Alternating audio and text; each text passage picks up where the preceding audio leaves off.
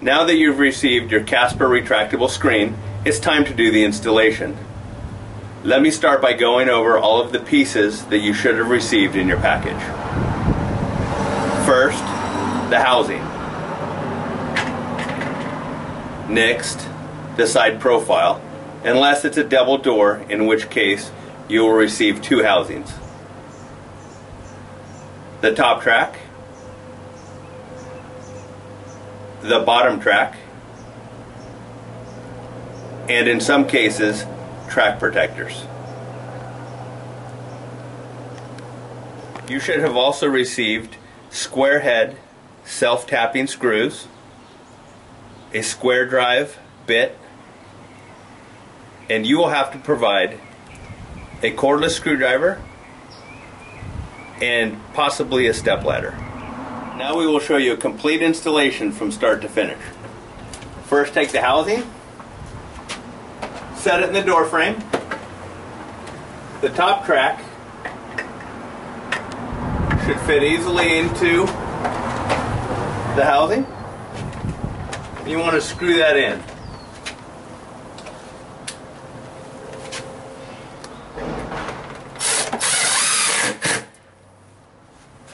At that point, the door should hold up by itself. Next, the side profile.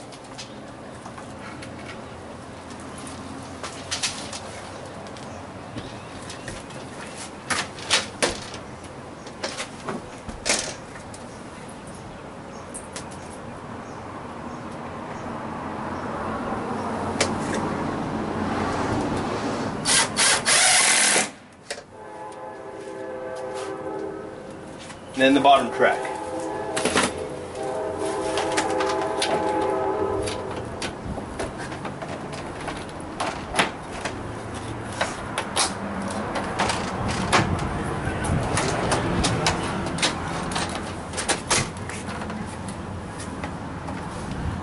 Once you make sure everything is straight,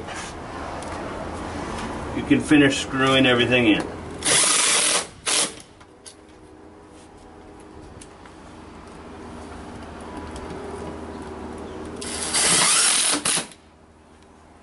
Probably need three or four screws on the side profile on a seven foot door and one extra screw on an eight foot door.